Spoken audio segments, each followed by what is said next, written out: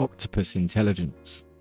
When doing my research, I keep finding the argument that social animals learn from each other and pass down their wisdom.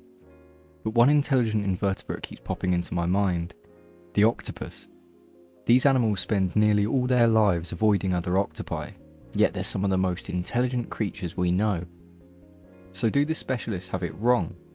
Not exactly. Sociability can create chain reactions that start trends in animal groups, like the potato washing monkeys in Japan. But the octopus doesn't learn this way.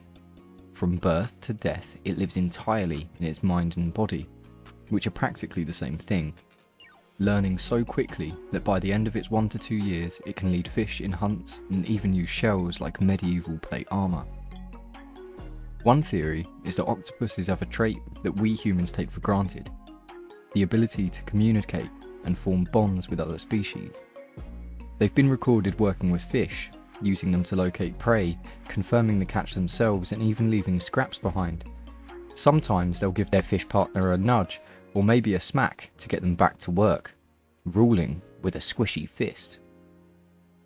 The octopus is living proof that intelligence can emerge anywhere, and not just among the most social animals.